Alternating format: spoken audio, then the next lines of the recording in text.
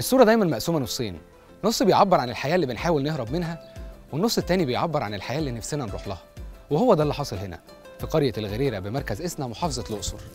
النص الأول من الصورة كان أبيض وأسود بيعبر عن بيوت غير آدمية.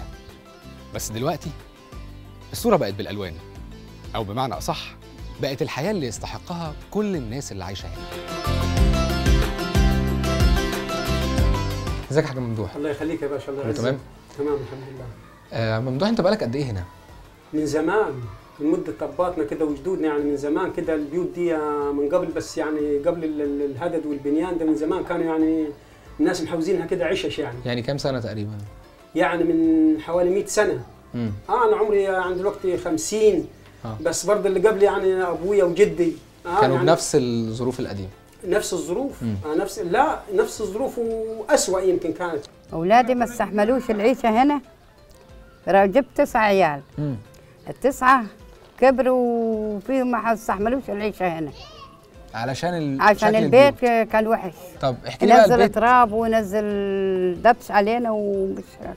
ما كانتش بيوت يعني إحنا كأننا في صحراء قاعدين أو حاجة زي كده يعني. يا دوبك حاجات كده شوية طوب آه، لبني.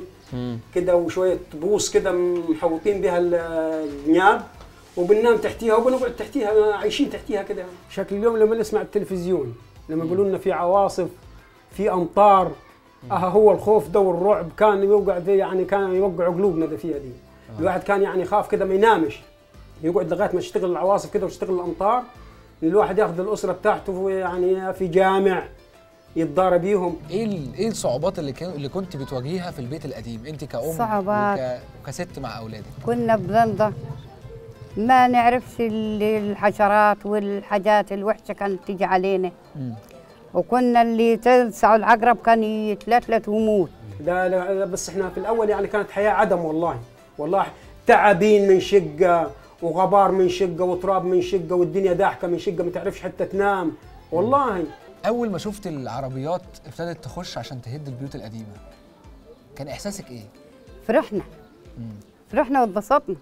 أول ما نزلت الحفارات والكراكات واللواضر وسندوها كده جنبينا كده في مكان واسع هنا يعني وجابوا المقاولين وجابوا ال- ال- المهندسين وقيسوا بالشرطان. قلنا لهم أنتوا صح راح تهد البيوت دي؟ قال لا والله راح ندوها. طب قال خلي طب وإحنا و... إحنا مف...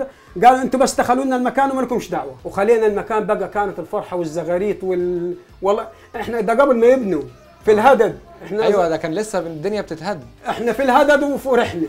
آه. آه ده قبل البنيان ده وقبل الهنا ده. قلنا هو ده الواقع يبقى هو إحنا رح نعيش في الواقع ده مش في الخيال. وكان عيد. أحلى من العيد والله. اليوم كان عيد. البيت القديم كنا نخش الأكل كان يوقع له التراب وحاجة ما ناكلش منه. آه. والحمد لله دلوقتي بناكل أكل نظيف. وربنا يوسع علينا وعليكم. أنا لما كان بيجي عند ضيف كنت بتكسف ما ادخله الحمام والله. لكن دلوقتي استقبل عارف مين؟ لا استقبل أي رجل أعمال استقبله في بيتي دلوقتي. وبكل فخر كمان وبكل نزاهة. دلوقتي بتقفل الباب؟ لا في أمان. ده الأمن والأمان. هو ده. يعني بتقفل بابك وتنام. يعني لا خايف من دبيب ولا خايف من ذئاب ولا خايف من أي حاجة. الحمد لله بتقفل بابك وعايش كأنك عايش في مارينا. ها؟